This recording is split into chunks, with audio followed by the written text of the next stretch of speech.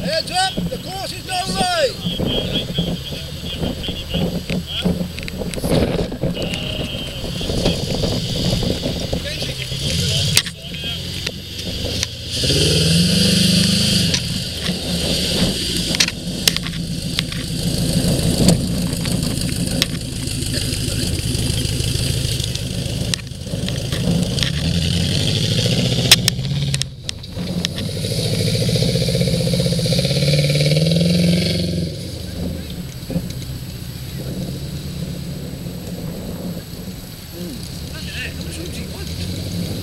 We bij de lucht over Mike. We bij de lucht over there voor je dan, hè?